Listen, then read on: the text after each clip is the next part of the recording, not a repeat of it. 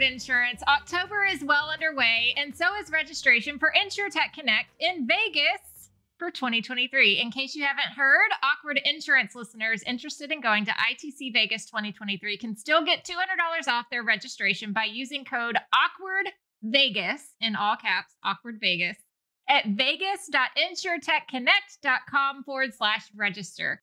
This code is good through the month of October 2023 until registration closes.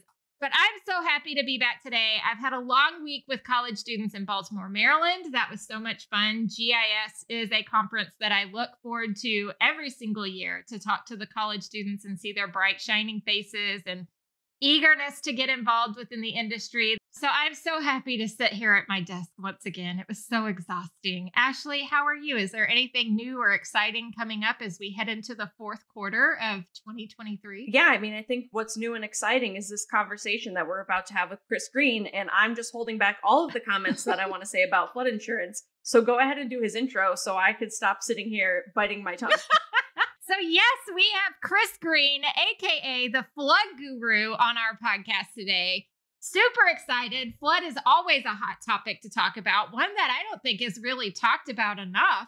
So, I'll just let Chris introduce himself. Chris, how are you? I'm good. How are you doing? I'm doing great, but we're more interested in you.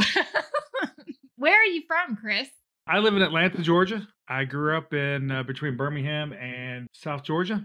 I tell people that my dad was Homer Simpson without the personality. So my dad helped manage nuclear power plants, so we moved around a little bit. So I come from a family of engineers. Ah, Okay. Actually, how I ended up getting my master's degree is the college I went to was destroying chemical weapons. And so they had to have this massive disaster management department.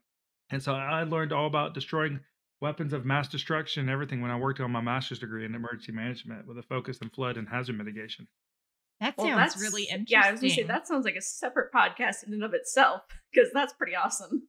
Well, I was actually I was supposed to do uh, weapons of mass destruction. I wanted to work in the Middle East uh, over there on that kind of stuff. But uh, the day I started my master's degree, Hurricane Katrina hit, and I ended up studying Hurricane Katrina for two and a half years. And I studied every flood from the bottom of the Mississippi to the top of the Mississippi, water tables, all that different stuff. And so that's kind of just how it kind of naturally happened. And thus the Flood Guru was born. Actually, I wasn't even born on that. I bought a house in a flood zone about 10 years ago and was told the premiums were going to be $3,000 when they Oh. should have been $300. The real estate company didn't know what they were doing. The insurance company didn't even know what they were doing. I went to the mortgage company and said, hey, there's nothing we can do. And I actually showed all three how to take that $3,000 rate, turn it into a $300 rate. And I've been helping property owners do the exact same thing for the last 12 years Where were you buying a property at? in Atlanta, Georgia. And then somehow you turned that into this. That's crazy. And so I took that same experience and actually I also did a flood zone change on that property, which I've also been helping property owners do for the last 12 years with our flood consulting company. You know, this is really where I believe that, you know, for good or for bad, the word expert, but passion is truly born is when you yourself have actually experienced something and you know how to connect to it and you know how to process the information that comes out of it and spill it back out to other people. And I can just see, just based off that one scenario, that that's, I mean, that's exactly where the passion of doing what you do comes from instead of just being like, yeah, I got into flood because it's super easy to sell. I heard that as it came out of my mouth. That's a condition when we hire somebody. They had to have had some kind of experience with flood. Maybe it was a family member, maybe it was themselves, something they've been through that they can kind of walk customers through that story. Uh, hey, I've been there. You know, I, I know how you feel, and here are the questions I wish I knew how to ask. Have you had a personal experience with flood, Ashley? No, as he was saying that, I'm thinking, well, first, I wouldn't get hired by his company, but second, the my personal experience, which is why I'm excited to talk to you, is you know I came from an area, and I know you'll say is that everyone is technically in a flood zone, which you know took a long time for me to learn. You just might be in a very good flood zone where you're not ever going to get hit. Right? But we had a lady one time and she was taking out like a reverse mortgage. She was like 80 years old and taking out a reverse mortgage on her home. And we had to do some, I had to rewrite her insurance policy or something. And she's like, they're telling me I'm in a flood zone. And I know our hometown very well. I'm like, okay, where do you live? Please enlighten me. So I go and I actually visually inspect her house. And she lives on this hill and the mountain goes down to something like I would never walk down it. It was way too steep. And there was like a little creek running through it. And I'm like, this is the flood zone. And it was going to be very expensive for her insurance and for the flood policy. And I'm like, I don't know enough about this because we never deal with flood insurance in the area that I had lived in. And I feel so bad for this lady who doesn't have money to begin with, is taking out the reverse mortgage, and she's gonna have to use this to pay for her flood policy. So it's just, I could have used you then, Chris, 10 years ago. Where were you? That's actually exactly why so much of our business comes from insurance agents in that exact situation. Like, look, I don't deal with it enough to feel comfortable with it, but also, A, don't want to lose a customer. I want to look like the expert, but I also want to help. And that's what I laughed at me, like, well, you know, what do you mean you don't do much on the coast? I said, no, inland flooding is our focus. The education's not there, the resources aren't there, and it's our goal to bring two of both of those there so agents have what they need to do their job. Yeah. Before we go any further, did you say crick or creek? It depends on the context I'm using. I said crick. In this one, I said crick. You did. Yeah, it was just a little crick. A creek is a little bit bigger than a crick. I knew that the word crick was out there, but I didn't know that people actually used it. but when I jumped on, you guys were saying something about a flood in New York. What is that? Because I've had my head in the sand apparently. Uh, And so on Friday, we had a massive flood in New York. They get seven inches of rain in 24 hours, and it caused flash flooding. Like the subway filled with water. Literally every single piece of transportation was shut down in New York. Property owners, some of them are going to end up losing everything. Business owners are going to lose everything because none of them were in a high risk flood zone. It was all low risk area. But this is actually one reason why so many private companies have started to pull out of New York. Is New York is not addressing the mitigation issue properly. So they're not willing to mitigate some of these drainage systems. And the private companies are like, look, we're pulling back because the city's not willing to take the efforts to reduce the risk. And we just can't take that exposure with what's happening with reinsurance cost. Mm. Can you imagine being on the subway or being down there waiting on the subway and seeing water shooting out of the side of the wall? That is one of my biggest fears. I can because I helped pull my dad out of a flooded vehicle when I was about nine years old uh, from a flash flood that happened in our neighborhood. How many other ways are you tied to flood, Chris? Holy cow. The only thing I haven't experienced on flood, thankfully, is actually a flood insurance claim. Yourself. You've not experienced a flood insurance claim yourself, but you've obviously helped others through their flood insurance claims. We handle about 2,000 flood claims a year. Oh my gosh, that sounds like a nightmare to be perfectly honest with you. I got deeply engrossed in one flood claim and I never wanted to do it again.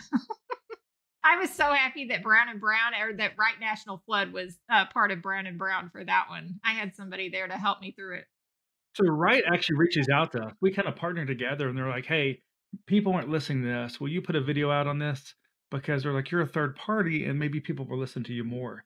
And we do vice versa a lot. And so we kind of push content back and forth between each other on flood. So let me just start with let me start with a question. You haven't always been the flood guru. So can you think back to when you first started in insurance and that very first flood inquiry that came in, what that was like for you? I think Ashley, you just spoke on yours about the older woman and having a reverse mortgage.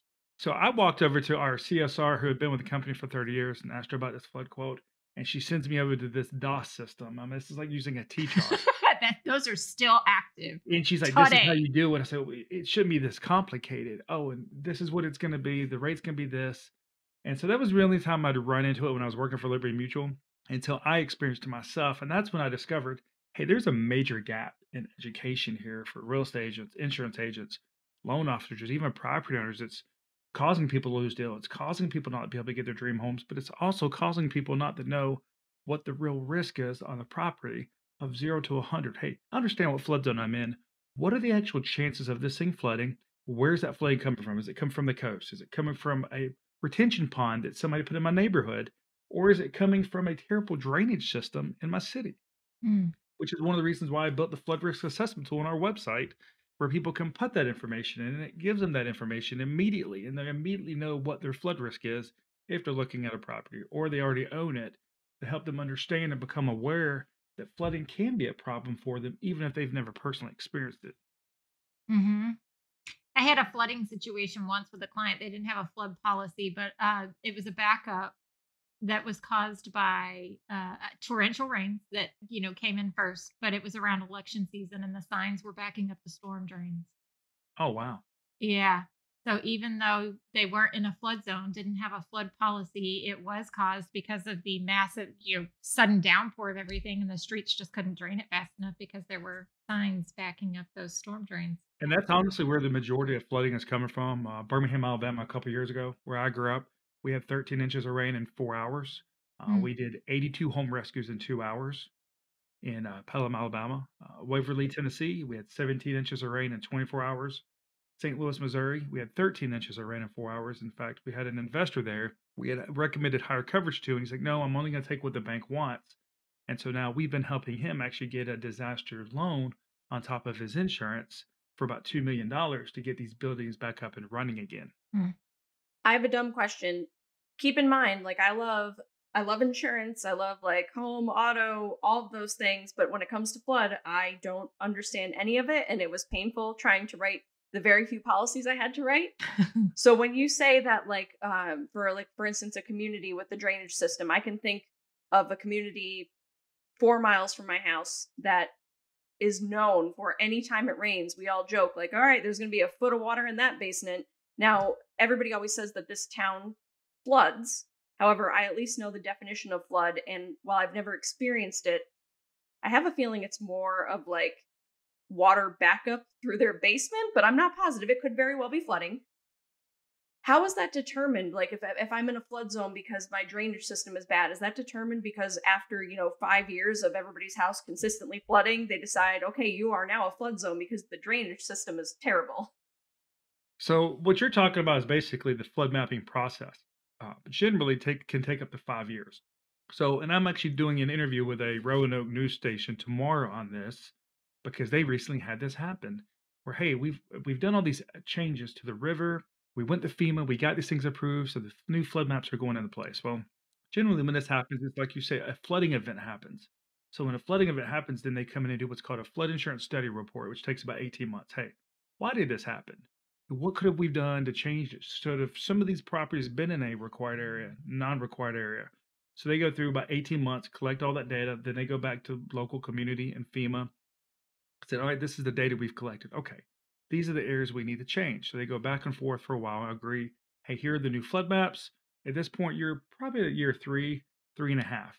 So then there's preliminary maps go into place for about a year. They start educating the public on what's going to happen. And generally they go live after that. But it could be that something changes last second, which is exactly what happened in Houston before Harvey. They went back and forth for almost 20 years, try disagreeing on a flood map. Had that flood map been in place, 85% of the people who didn't have flood insurance during Harvey would have had it. Wow. And so that's why people tell tell people on these flood zones and these flood maps, think about it. If it takes five years for that to happen, imagine how a risk changes over five years. Immediately it's out of date. Another example I would use is California, Tennessee, with all the wildfires. When a wildfire happens, it immediately creates a flood exposure because all the vegetation's gone. So you don't have mm-hmm. anything to soak up that water anymore. Now it becomes a runoff, mud flows, mudslides. And so it may take five years for FEMA to update it, but it doesn't mean it's not going to take five years for your property now to flood. Man, Yeah. that's crazy. What I always tell people is that floods and in laws have a lot in common. They show up at your door uninvited and they show up at the worst time. Oh my goodness. So a lot of what you were talking about was kind of like on a grander scale and larger um larger geographic region. It just it made me remember it's so weird how you've got memories that just like come up all of a sudden that you forgot you even had. Another client of mine, they had a creek a, a creek. but a neighbor, if you will, upstream decided that he wanted to build a dam on his side of it and it diverted that water to where it did not flow in the same you know direction or areas anymore and suddenly created unfortunately because of the definition of flood you, what happened to his property didn't actually qualify for flood because it didn't inundate the right amount of property for it to qualify as flood since it didn't you Yeah, know, but- uh, pass through two or more properties it was just his property The other guy should have been liable. Liable. Yes, he did violate a rule. yeah yes So what happens when we're doing flood zone changes and we're working with people on redirected water? What you're talking about is what's called an encroachment review. That means it cannot have a negative impact on somebody else downstream. If it does, it can't be put in place, and the local floodplain manager has to sign off on it if anything like that's being done. But let's do a hypothetical. You live in northeastern Pennsylvania where all of the words that you just said don't exist there because people don't go and get approval to do stuff. So let's say if the neighbor up the road from me decides to go and put in a dam in their creek because they just want to, and then it diverts and hits my property, and I don't have flood insurance because I'm not in a flood zone where I needed it. Dustyne, this is more for you then. Wouldn't that homeowner be liable regardless? Because flood doesn't. They could. They very well could be. Oh yeah, no, I definitely feel like they would be. They could also be in what's called a 1316 violation, then, which is basically a floodplain management uh, violation. Now, typically these happen on properties that are substantially damaged or substantially improved. We see this a lot where an investor will come in and add an addition to a property. He gets ready to sell it and he can't get a permit. Um, the reason is when he added that addition, if that house was built in 1950, according to floodplain management guidelines, it's actually built in 2023 now, which means the base flood elevation could be six feet higher now he's got to raise the property eight feet, and it's going to cost him a hundred grand to do it. But we see these violations happen all the time, where people are being required to fill in their basements, even though the house was never flooded, because they did some kind of improvement or something that changed the year built according to FEMA and the National Flood Insurance Program regulations, where now they have to make these changes. In fact, I had one in Ohio where the customer had to fill in his entire basement with either sand or cement, or they were going to continue to put tax liens on the property. Good grief. Do you know where in Ohio that was? No, I've got to go back and look. It's been two or three Say, I years. bet it's the town that I was just referring to. and this right here is why you need somebody like Chris on your side to help you through all this stuff because he has just spewed out more information about flood than I think I have ever heard in my entire career. Holy cow. And not only that, yeah, but it's the, fascinating. Right? But then the NFIP has just recently gone through changes that have changed everything we knew about flood products. Okay, I want to do something fun. Chris is our insurance guru. He's he's the agent. Ashley and I are the consumer. And Ashley, I know you've got some of these in your bank. So if you need to take a minute to think about it and write it down really quick, I'm going to give you some of like the most common customer one-liners as to why they won't buy flood or when you offer them flood what they say back and I want Chris to give us from the agent's perspective, like a one or two liner that the agent should use to overcome that. Does that make sense? Yes. So, like the very first one, we said it, we said it already. I live at the top of the hill. I don't need flood insurance. What's a line that an insurance agent could use to begin to change that consumer's perspective? I live at the top of the hill. I don't need insurance. You know what? You're probably right. You do not need flood insurance, but you're going to want it when that city sewer system backs up as a result of a flood somewhere else. I like it. Ashley, do you have one? I mean, I feel like that was, I feel like anything that I'm going to say is I don't need it for XYZ reason. My property hasn't flooded since I've owned it. Why do I need it now? That's going to be the same answer though. Well, no, in that in that situation, what I do is I say, "You're right. It has never flooded. You are very fortunate." But what happens when it does? What is financial? Let's just take a look. What is financial loss going to look like for you if you did not have insurance in place? Would you need help replacing your building? Would you need help replacing your contents? Can you imagine coming up with roughly three hundred thousand dollars on your own? Could it take you ten years of financial? Are we talking about bankruptcy here? Are we talking about having to use your children's college tuition to get back up on your feet? What is that going to do to them financially in the in the future? When simply this policy here could help protect this, because as we see with climate change and severe weather pattern changes, it's happening across the whole country. Okay, I got another one. If I have a flood, FEMA will give me money. You're right. They very well may give you money. Now let's talk about this. During Hurricane Harvey, the average insurance payout was $100,000. The average disaster assistance was $4,000. The only way disaster assistance is going to pay out if there's a presidential disaster declaration. Arizona has more floods than any state every year. A lot of those floods do not go reported, and the majority of those floods do not have a presidential disaster direct declaration, which means people have nothing.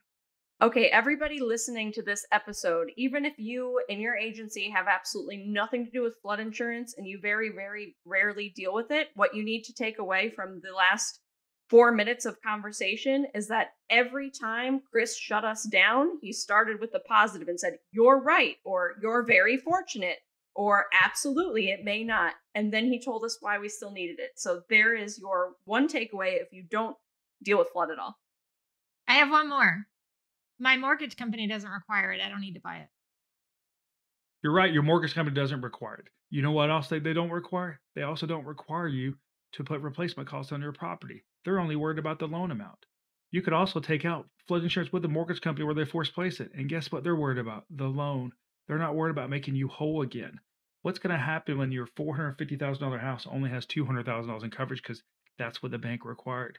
You're going to have to go get an SBA disaster loan for $250,000 for the next 30 years, pay for something that you're not even in. Trust me, I know we had it happen to a client who is still paying for a lake house 10 years later that he doesn't have. Ashley, do you have flood insurance? No.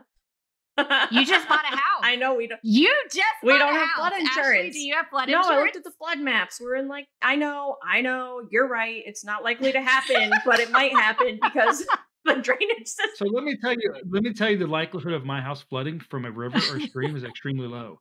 Do you know, however, do you know where it would more than likely flood? It's from the swimming pool I installed in the backyard because it's uh, elevated a little bit. If it overflows, it's coming straight into my house. The problem is it's not going to cover my house unless it also impacts someone else's property. So I need to make sure I dig a ditch going down to the neighbor's house. Wait, so we had a oh claim Oh, like that. God. I mean, it wasn't didn't end up being a claim because it wasn't flooding, but it was somebody's pool. But what's what's the ruling? Because I've been out of the game for too long. How many houses does it have to affect? FEMA and private look at it differently. We had some claims covered in Texas because it actually did impact two different properties. Oh, Now, what most people don't realize is technically it doesn't have to be, it has to be your property. It could be something sometimes as simple as a city street flooding as well, Yep. because it's another parcel. It's two or more properties, not two or more residences or buildings or whatever. Two or more properties. Two acres or two properties. The whole reason for the two acres was like if you're in a rural state and you live on a farm, there may not be another property impacted. But I thought it was more than two properties. That's why I was confused. I thought it was like four or five. well, it'll say two properties or more, but the, we've seen it where it pays out, where even a city street, because they consider it to be a different parcel. But we've also seen it where it has to be two prop. I mean, honestly, it goes back to the adjuster and how the adjuster is looking at the verbiage. So, Chris, after this, I'm going to need you to call Ashley so that she can purchase her first flood insurance policy. Yeah, might as well. Hey, the best one, the be- best one we get is, hey, I- I'm in a condo, I don't need it. It's covered by our master policy. You're right, it, it is, but what they're not covering is your personal belongings. Exactly. Yeah, I've you know one of the perspectives that I've always loved in terms of like a super fallback. You've already gone through all these other explanations. Well, the grandfathering. You purchase the flood insurance policy now when you're not in a significantly impacted flood zone, and then once like if anything ever does happen, say it's development of the community around you has now impacted, and now you are in a flood zone. You've had the policy. Your pricing is not going to be the same as it was if you were buying that policy brand new after the remapping. So the grandfathering actually no longer exists. A couple years ago, I actually shot a video dressed as a oh, grandfather no. discussing the grandfathering rule. Like I had a gray beard, everything on my YouTube channel.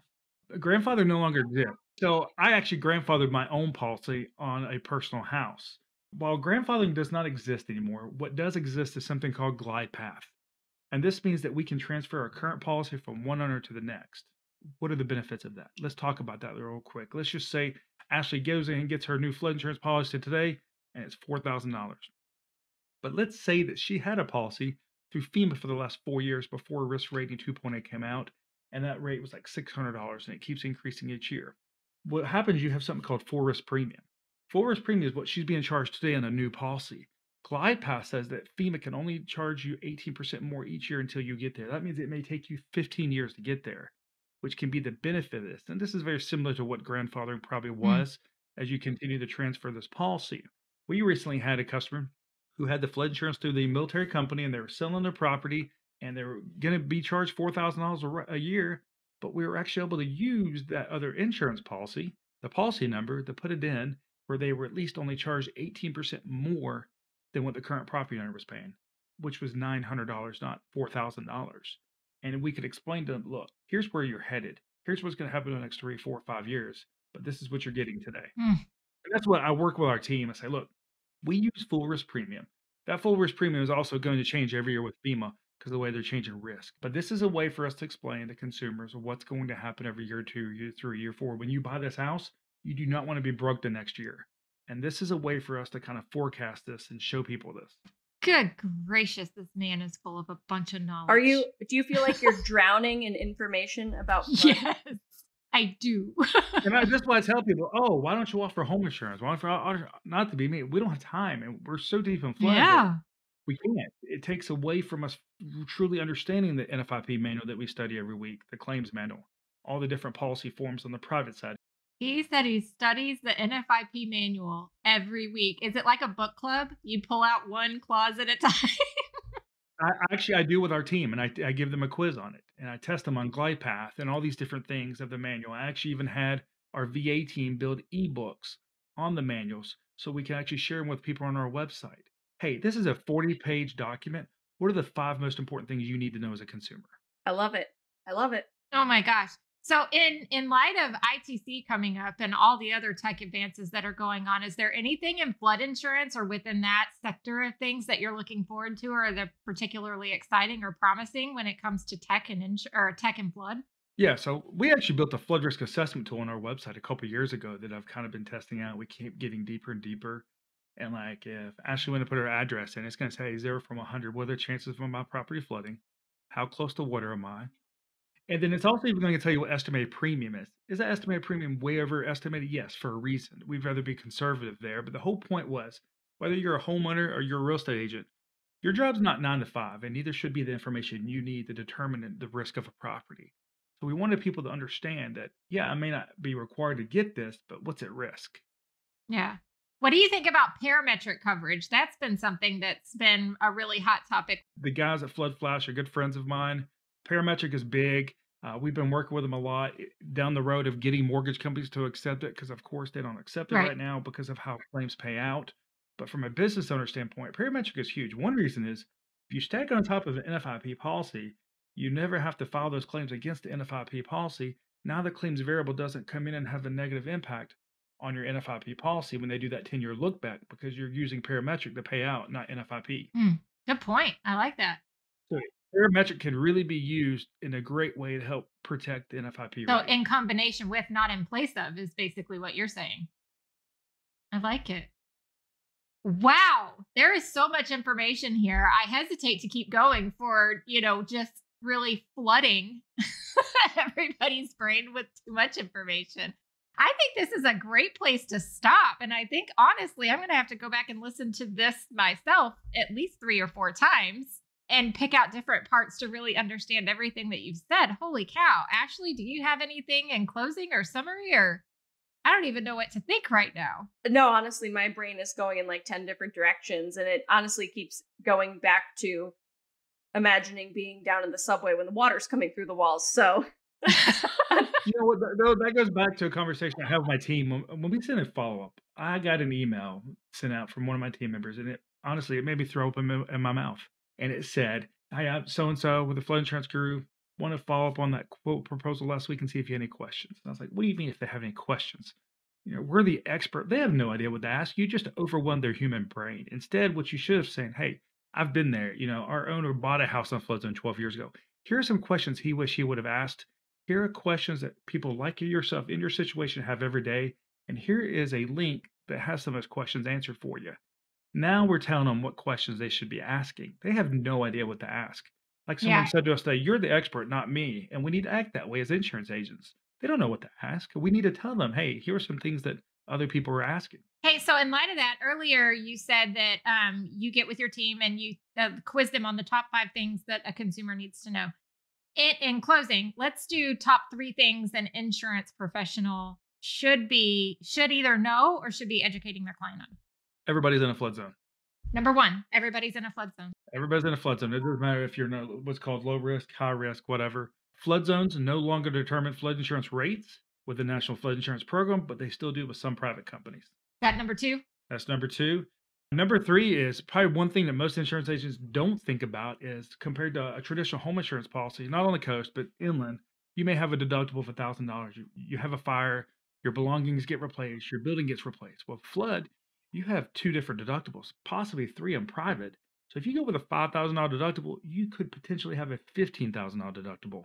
I like that you brought that one up. I think that's probably one of the best, biggest misconceptions. And I think that's kind of there's a lot of things that lead to some of those misconceptions across all sorts of different policies and the way deductibles are applied and i don't think the flood deductible is talked about enough here's the bonus one nfip does not offer replacement cost on content right yep that's bonus that's number four thank you so much for your time here today with us chris if somebody wants to get in contact with you to try and find out how to untangle even more flood knowledge how can they do that You can visit our website, floodinsuranceguru.com. Uh, I've actually got our new learning center for insurance agents uh, coming out October 15th, where it is just a learning center for insurance agents, nobody else. Love it. Then uh, you can also find me on Facebook. I'm usually cooking something with a different grill, going back and forth with David Carruthers about who's probably got the better food or the better grill. And then you can also find me on LinkedIn or just email me, flood at floodinsuranceguru.com. All right, before we leave, I have one quick question for you. So I just went in and I did my flood risk verification. So I remember that flood zone X is like the best one to be in, correct?